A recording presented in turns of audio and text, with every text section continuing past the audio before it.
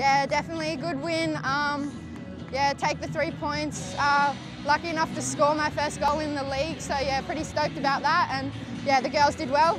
Good win. You obviously came, came on at half time. What, what did Ante Juric say to you? Um, just to express myself, just have fun, and um, because yeah, I definitely do my best when I'm having fun. And the girls lifted me when I got on, and yeah, just had fun out there. It was really fun. Yeah.